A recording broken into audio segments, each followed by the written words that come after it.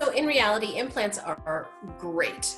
Um, if if you do the basics in just making sure that you brush and floss and come to us for your regular checkups, that implant should last you for a great number of years.